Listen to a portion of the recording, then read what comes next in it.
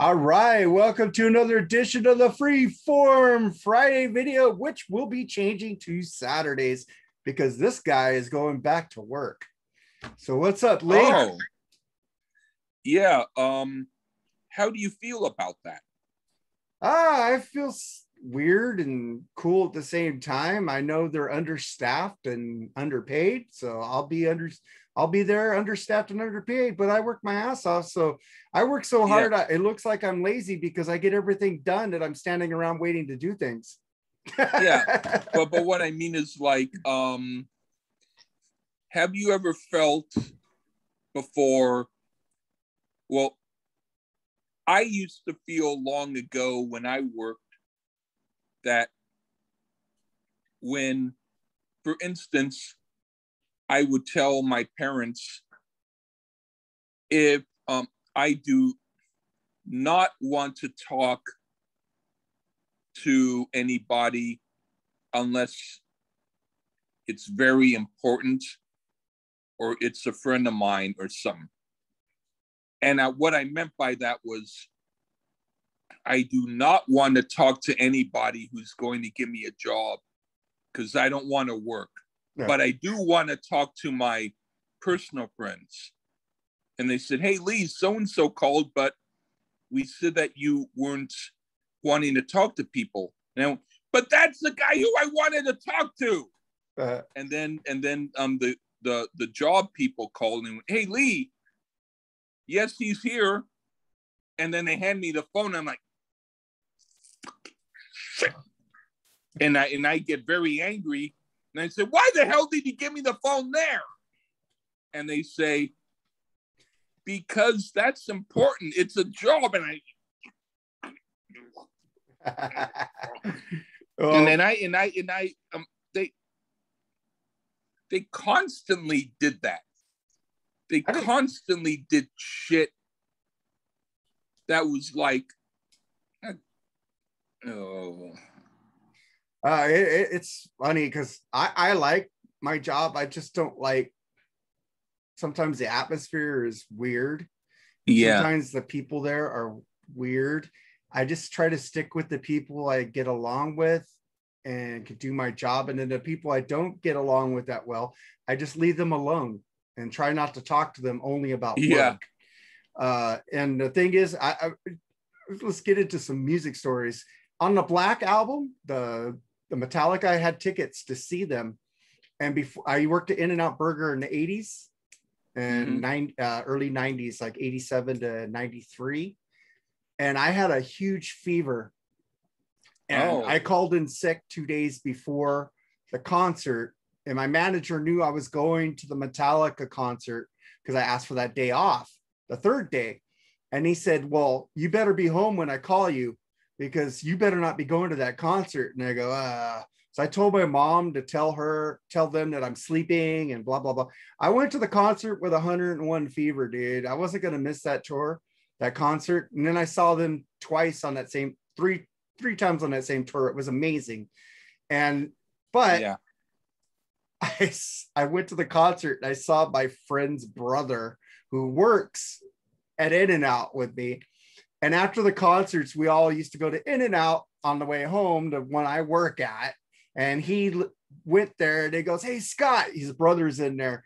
Says, I saw Marky T at the, the Metallica concert. My manager was right there. He goes, Oh, really? He had his mom lie for him. and it's like, dude, why is he calling me at all?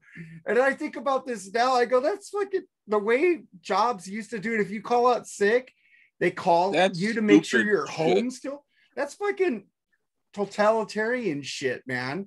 It's like if somebody that's calls in- absolutely stupid shit it's like um that you know people shouldn't do that shit yeah, and then he tells, then I get to work. He says, Well, Danny Travato said you were working.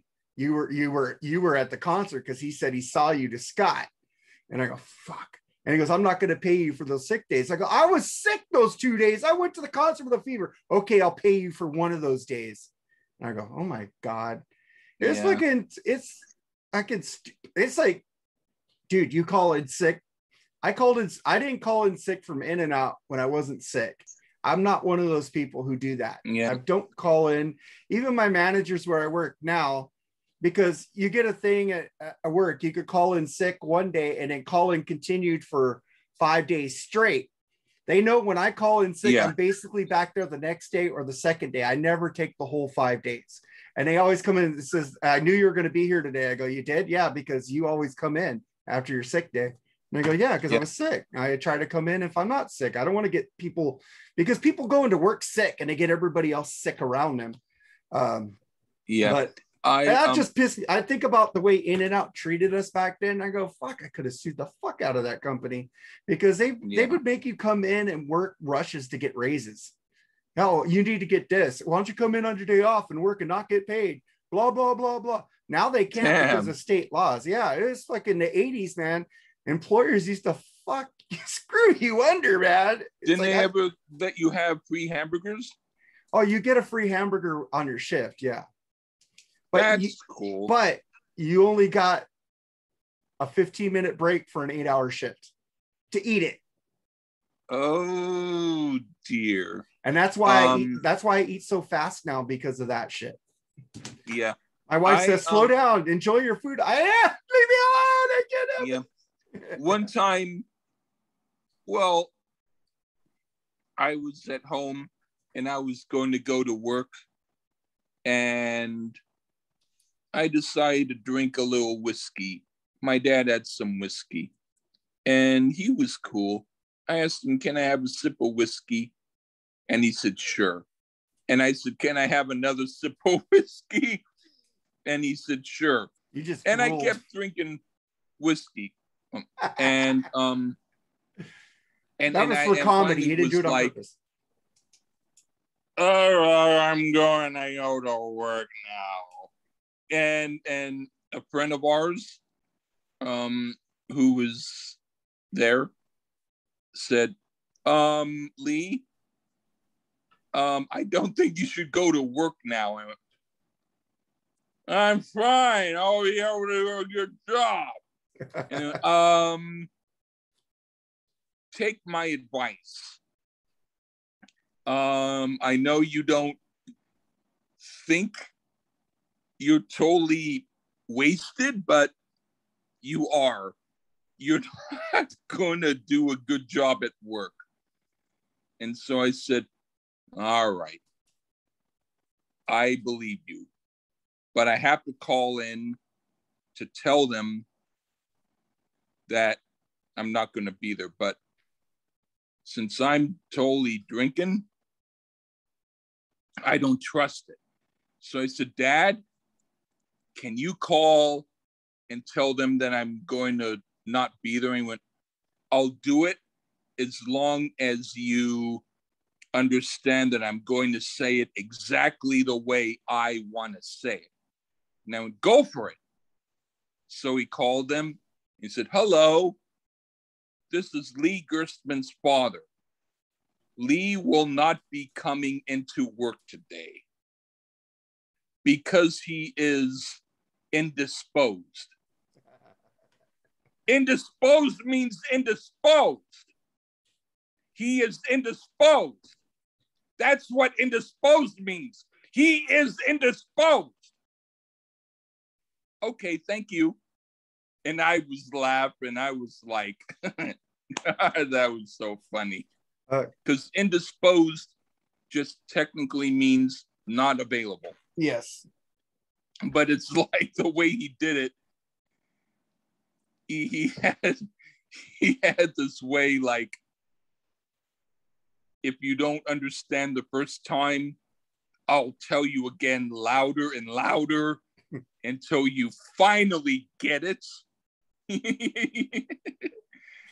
Yeah, I, let me tell you about a concert. We went to the Van Halen Van Hagar concert called the Balance Hmm. Tour with Collective Soul open, which Collective Soul was like an amazing opening act for them. I would Um, have been there for them. Oh well, we went. I went with my friend. His name is John Subney, and my friend, uh, my other friend. Uh, I can't remember his name right now, but I'm still in contact with him somewhat. But John Subney, I'm not. He was a total fucking drunk, dude. Have you ever seen a drunk? Uh, fucking, he gets so drunk, he gets so many DUIs. They had to put a breathalyzer in his car so he could start it. He is that Huh. bad a drunk. Uh, he didn't drive. I drove to the concert with him and my other friend, and uh, Robbie. Robbie uh, was my other friend. And Yeah. we get there. He's already fucking wasted. We smoke a joint out in the parking lot. We get into the concert. He disappears to go to the bathroom. He never comes back. And we're Huh. I, I go I go out during the intermission, start looking for him, looking for him. Can't find him. I'm enjoying the concert, but I'm worried about my friend because I know he's a fucking lunch. yeah. He's already drunk. He already pre-gamed before he got there. He was like, he talks like this. That's the way he talked all the time. He slurred his Oh. words, like, and he was a total metalhead, fucking this and that. And again, I'm we're we're we leave the concert, we can't find him. We're looking all over the place. We just go home. We go fuck this shit. After an hour, we go we get, went home. And then the next Hmm. day, I get a call from the Irwin uh, Inglewood Police Department saying that John Sumney is there and he needs a ride home. calls Oh. So I drive to Inglewood. He said he's going to meet me in front of the forum. Not there. I go, what the fuck? Why did I drive all the way and he's not here? So then I get home and then he calls me and then I go to his house and I said, where the fuck were you, Mel? Oh, I got to ride home. Why'd you call me then? Go fuck, man. Sitting there wasted all that fucking gas. And then and then he tells me the story why he disappeared. He went to the bathroom. He bumped into a security guard. He came out of the bathroom. He bumped into that same security guard. And then he was walking around and bumped into that same security guard again. And he says, You're drunk. And he called the cops on him and sent him to jail. He kept bumping into the same fucking security guard over and over and over. You know what? The bumping thing reminds me of I was in a record store in Berkeley, California, Amoeba Records. Oh, I need to go to that place, man. Yeah, yeah. And um there was a guy who um happened to walk by and accidentally bumped into me, but it was like a hard bump, but he didn't say anything. But I went, Oh, excuse me. And then it happened again. And he bumped into me on accident. And I said, Excuse me. And then I went to Rasputin Records up the street. And I kid you not, someone bumped into me again, and it was the same guy. Oh my God. And so what I did was I said, if he fucking bumps into me again, I'm gonna punch him. But it didn't happen. You know, he didn't bump into me a fourth time. Don't you hate it But when I, people- I'm thinking to myself, how the, what the hell? I mean, now, I mean, in New York, people aren't like that. People are cool with each other. But in California, people are freaking wiggy. wiggy, wiggy, wiggy. Woo. You know, I'm probably the wiggiest person in Cal in, in, in New York. Hey, but don't you hate it when people bump into you? They bump into you, they walk straight into you, and you're the one who says it. Uh, oh, I'm sorry, excuse me, and they don't say anything to you. They're the ones who bumped into you. It's like now, Yeah. with, pe- now with people walking like on their people walking on their phones, they walk into the fucking wall, and they don't fucking they walk into people and don't even fucking care. And it's like, Yeah. what the fuck, man? I, why did I say excuse me to you? You're the one who fucking bumped into me, bastard. Yeah. it's like fuck man have you ever been to a concert where you just fucking walked out and left Um, there was one concert that I went to, um, like one of the, not the very last, but one of the concerts that I went to right before COVID, where I went there strictly for the first act. And before that, there was another concert that I went there because I only wanted to see the first act. And then after the first act, then I left because I saw who I wanted to see. I got selfies. I talked with them. It was all good. And But there was another concert that I went to with a friend of mine, Magma. It was a great concert. And the thing is, their songs are generally usually 30 to 45 minutes long. They're not short songs. If you go to a Magma concert and you want to see a two or three minute songs, you are not going to find it. And and um, we saw basically the whole regular concert, and then they did an encore, and the music was fantastic. And I wanted to stay to see the whole thing, but it was after midnight. And if we didn't rush to the bus, we would have been stuck in San Francisco without transportation back or something like that. So it really hurt to have to leave. But the one consolation that I had was my friend who paid for both of our tickets. He wasn't able to see the whole thing too. So I thought at least the fact that we both missed the, so- the song that was um made me feel a little better but it was a wonderful song. I i, I really wanted to see it because it was great but i will say that i saw it the whole thing before the encore but um if if i saw magma again i would want to be sure that i would be able to see the whole thing because they're a great band. But yeah, they're they're a group where I had to leave because the the the train going back stopped at a certain time and I wouldn't have been able to get back home in time before then. And and I know from experience once I had to rush to the subway. They call it BART, Bay Area Rapid Transit, in um, Northern California. But yeah, I know I've been on there once. Oh, okay. And um, and I had to rush to make it back in time for the last bus. And there were about 10 or so homeless guys by the Burger King in sleeping bags and they saw me and they said, Hi, boyfriend. And they all said, Hi, boyfriend. Hi, boyfriend. And I thought, if I don't get back on BART, I'm going to have to fight off about 10 boyfriends. you know, so. well, you're like a so bear. That, that, that was a bit creepy. creepy McCreeperson there. But I, I went to two concerts. One I wanted to walk out of because the closing the but I couldn't because the closing act was the Rolling Stones, and I didn't want to miss them. I went to the yeah. the Rolling Stones Steel Wheels tour at the LA Coliseum with Living Colour and Guns N' Roses opening. Living Colour was amazing. They're a band that we need to review their first album on. All right. I really love that band. Uh, the guitar Vernon Reid is really great, and that's a concert I went to the second day and he called out Guns N' Roses for the first day for being unprofessional when I saw them. And then uh, Guns N' Roses came on stage and was unprofessional again. It sounded like shit. And then the Rolling Stones came on and all was okay. And then I went to the Metallica Guns N' Roses show at the LA Coliseum again when they went on tour together.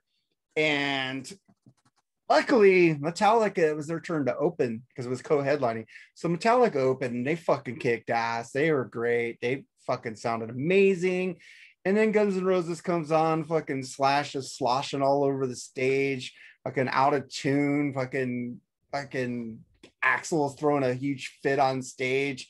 Me and wow. my friend Robert Terry are sitting there looking at each other. We took the we got off work early to go see this shit.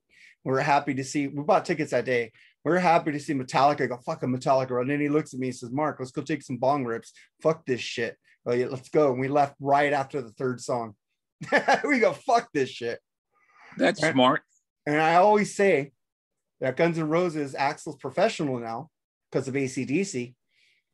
Because um he they made they said you need to show up on time, you need to be here on time, you need to act professional. And now Guns N' Roses is doing their thing again. And I hear their shows are amazing. And I, I I tweeted them. I said, You guys owe me a fucking free ticket, man. You guys sucked twice. I had to walk out of the second show. you know, fuckers. Yeah. There was there was a friend of mine um who when he was in LA he was in the post office and he saw Axl Rose. And he said, Oh, by the way, aren't you Axl Rose? And Axl said, No, I'm not. And the guy, went, what, what? No, no, um, don't get me wrong. I'm not trying to be like a, you know, big fan or nothing. I'm, I'm I just want to tell you that I think groups like Jefferson Airplane and Quicksilver Messenger Service and groups like that are much better than you guys. You know, they they they do much better stuff, and you're you you know you're you're you're you're nothing compared to them. And Axl said, "That's cool," and then they ended up having a really good conversation. Nice. I I people don't like the Use Your Illusion albums. I love them. I think you can cut off about four songs off of them, but you don't need to have two versions of Don't Cry. it's like um, get rid of one of them. And fucking my world guy, just needs to go. There was a guy I knew named James where when I had parties in my house, he would dress up in like a suit and tie. He looked like Michael J. Fox. Like, like, like, like, like, like if you could imagine Michael J. Fox from Family Ties in his suit and tie, and everybody else is dressed like just regular. But but he was a cool guy, you know, and um he said, Hey, you know, um, I'll loan you. I have both Use Your Illusion albums, but right now I only have the first one. Uh, no, I mean I only have the Use Your Illusion 2 on cassette that I can let you borrow. And and I'll come back the next day or whatever for it. But I'll, I'll let you borrow it because I'd like you to hear it because I think it's a great album. So I said, sure. So I heard most, almost all of it.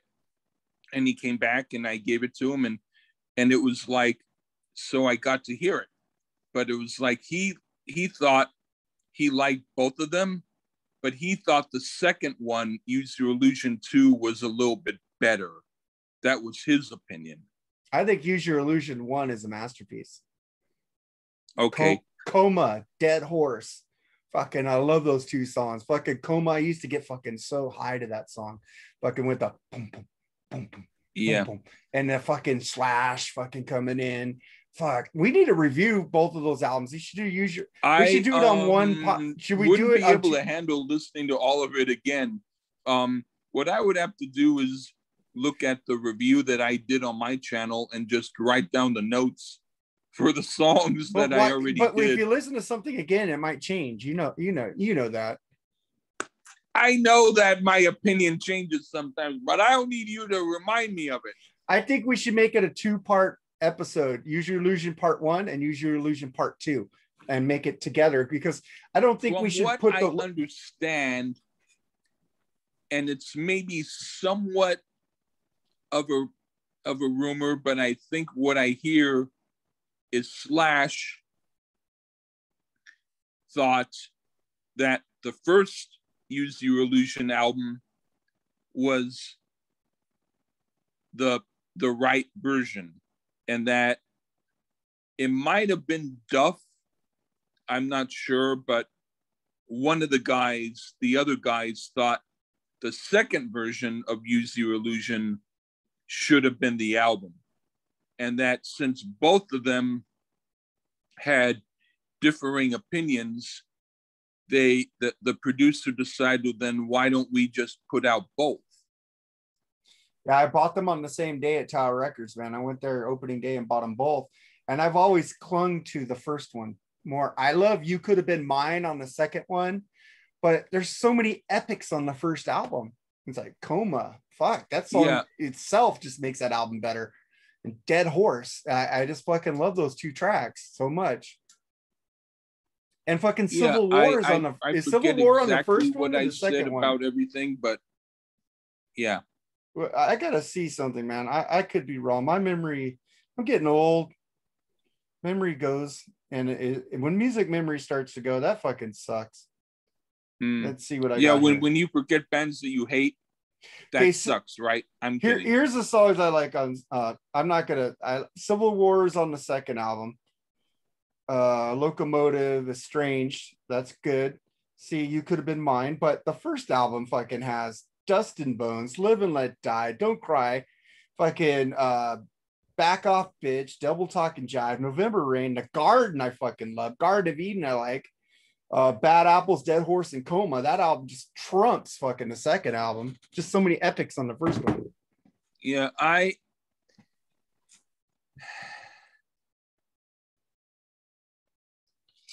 I'm not a fan of either all the way through, but I kind of agree with you that the the first one has at least a couple of better tunes than the second. Well, when we were cruising Hollywood, we played. We I had both of them. We only played Use Your Illusion one. We didn't play fucking Use Your Illusion two, even though we all liked You Could Have Been Mine. But we felt that song was kind of overplayed. We liked the deep tracks. Coma wasn't a fucking single. That fucking song just fucking kicks ass over estranged. It's fucking great, but that's my favorite fucking epic. November Rain is great too. I like Estranged better than November Rain, though, but November Rain's cool too. But um, I just like the Slash's guitar tone on Estranged better.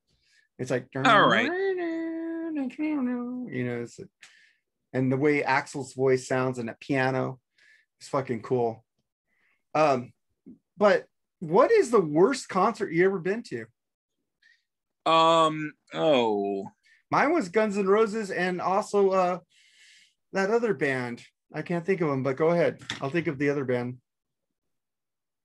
it's hard for me to think about a worst concert because all of the groups that I saw were basically pretty good. Um, there's a singer named Noa who um, she's from Israel and she doesn't hardly do too many I think he sent me some of that in stuff. um New York. Her album is really good. I probably wouldn't have you review it because you wouldn't be sophisticated enough to enjoy it. But Are you um, calling me a redneck geek? actually, well, Pat Metheny Well, I'm drinking some um, whiskey um, here. produced the album. Do you know who Pat Metheny is? Yeah, I don't. He's adult contemporary, isn't he? He's kind of jazzy. He worked with Joni Mitchell on Yeah. her electric stuff. I like some of Joni Mitchell's stuff, but Well, well anyway, um, it, it, it, it was in a church. It was like a Jewish church thing, but I wanted to see it because I wanted to see her because she does a song I don't know, which is a wonderful song, and she did do it, but but it was mostly like basically people doing political kind of stuff and, and it wasn't bad but I would have preferred to see her in a real concert of just her. But I was still glad to see her. I'm not going to say it was a really bad concert, but I will say that it it, it wasn't really great because um, the people there were more about promoting whatever it is that they did than the music. But I would have to say, other than that, mm, oh boy, um, get get give give me a give me just a quick moment. I can I would you that say, I would say probably. I I really can't say that I um know of any other group that was um um too bad that I didn't like. If if I think of it later, I'll let you know. I'll tell you my top three worst concerts: Guns N' Roses, Violent Femmes. Number three is Dire Straits. Okay. Um. But I was at the dire, uh, the tour where they were fighting the, on every street. That album was good. I liked Calling Elvis. I liked the songs on that album, but it was just disjointed. It wasn't like Mark Knopfler. It wasn't like.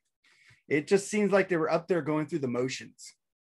And in Violent Femmes, it was like three guys on a fucking huge stage singing acoustic fucking songs, not even not even doing their fucking electric shit. They I- didn't do Gone Daddy Gone. They did, did but it was acoustic. I love their Hmm. albums, man.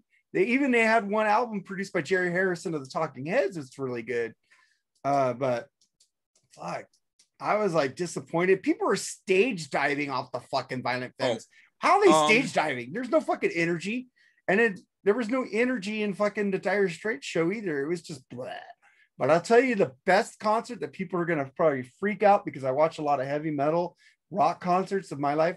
The best concert that had the most energy I've ever seen in my life was fucking Bruce Springsteen Tunnel of Love. Okay. Um, I thought of the group now. um,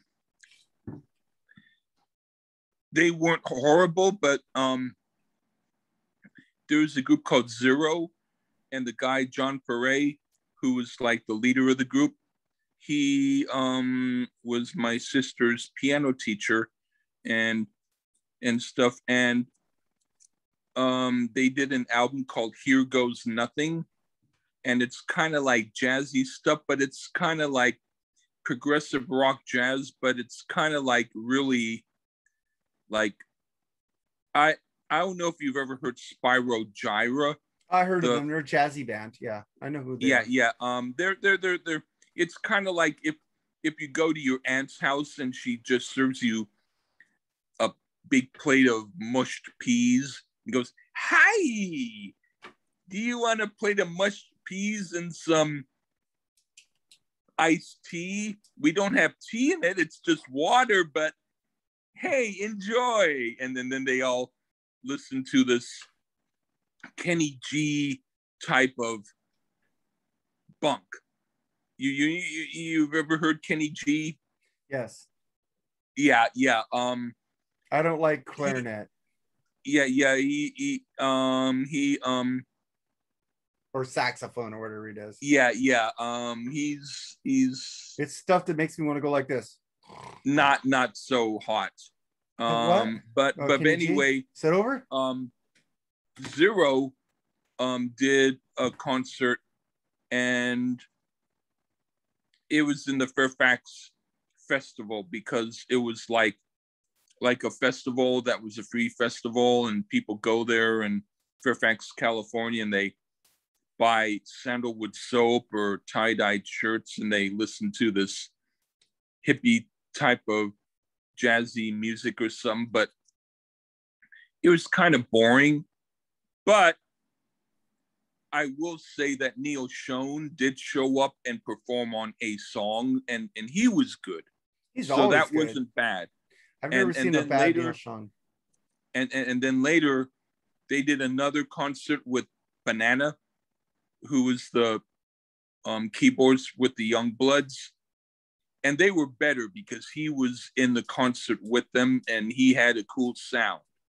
So they did play better the second time at the festival, but the first time it, it just sounded like if you had a salad at this restaurant and they charge you $60 for the salad and they just give you a great big bowl of lettuce with no dressing or nothing you'd probably think this is this is not worth my time.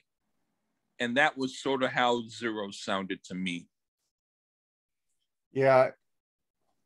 I don't know who's zero, but uh I give you my Um, I, I I I'll tell you my best concert. Like I said, Bruce Springsteen. Yeah, you're gonna hate this one. Def Leppard and Tesla Hysteria tour in the round. Def Leppard was in the round. That was fucking amazing with all the fucking lasers going everywhere.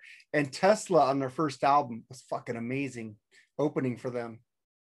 Did they do trucking the same way that they do on No, they didn't even do trucking. It was their first album before they even did the five man acoustical jam. Okay. Yeah, it was their first album, and fucking Def Leppard came out and kicked ass. And my fucking third favorite concerts is Rush. I didn't even put Rush number one. I love Rush, but fucking Bruce Springsteen and fucking Def Leppard kicked their ass. I'm sorry. I, Rush is. You see my shirt? Rush is my No, favorite band of all time. Because I've seen Rush more than any any show, man. I, I'm happy. I get to see three concerts coming up. I get to see the Black Crowes, I get to see Candlebox, and I get to see Pat Benatar. I'm fucking so jazzed about that. Candlebox, you said? yeah, I got tickets for Candlebox. Oh. Have you heard them, Lee? I, I I try to forget. Well, we're gonna do the first album or the second album with Paul Korn soon. So Um, not the group Korn, I hope. no, Paul Corn. I know. because uh okay, Kevin Martin has an amazing voice, dude. And that band is not fucking grunge, dude. It's fucking like jam. They could fucking do a song and fucking fucking just jam on it, dude. You should listen to Kevin Martin's solo band called Kevin Martin and the Hiwatts, and then go back and listen to Candlebox and tell me what you think. Okay, I'll listen to Kevin Martin's whatever it and the is, high and watts then- because I'm Huh? thinking I'm thinking you have just the name Candlebox gets an e in your name because you probably never really listened to them. I listened a little bit, and I and I and I. You probably listened to Far asleep. Behind or You. You know, you probably listened to the two singles and gave up. You never listened to the song Rain or their deep tracks off their first album. I I I I didn't listen to hardly anything of them. It's like people who listen to Ugly Kid Joe think, oh, the hate everything about you band, where they go, I don't really care about the system, where they kind of rap and I go, fuck, is that the only song you know? That song fucking sucks. Fucking listen to their other shit, man. Their second album. Okay, I'll listen to it. You you you, you I hate it when people judge a band on one song and then never go back and listen to the other songs on it. It's like it's like extreme. Fucking they don't listen to they listen to fucking the acoustic song, but don't listen to Susie Wants Her All Day Sucker. Yeah, it's like if I listen to 10 songs by Candlebox and I don't listen to the other two, then I'm missing out on their two good songs. You should listen to the album Lucy. Listen to Lucy first. Is that Second album. so? Should I listen to first the Kevin Mitchell shit Listen to Kevin the- Martin and the Hiwatts. It's more kind of artsy rock. It's really good. and then and then listen to Lucy? yeah, because his voice is just so amazing. It just oh, it's just like love his voice. Oh, goody. It's not Layne Staley, okay? You don't like Layne. Um, I just didn't like that heavy, syrupy, grungy, shitty Candlebox music. Candlebox isn't syrupy grunge, man. They're just rock Okay, with a little bit I'll of jam rock, with it. a little bit of jam rock in them, dude. They a can little play. bit of jam, a little bit of peanut butter, a little bit of yum yum yum, All a little man. bit of jam, peanut butter, and yum yum. yum. Let's go out on that song and let's just Yeah, fucking thank you because I'm I'm I'm starting to get annoyed at your suggestions. I'm gonna send you a Kevin Martin and the Hiwatt song after we get off of here. All right, man. If Say choose. goodbye, Lee. Let's get the fuck out of here. Bye bye.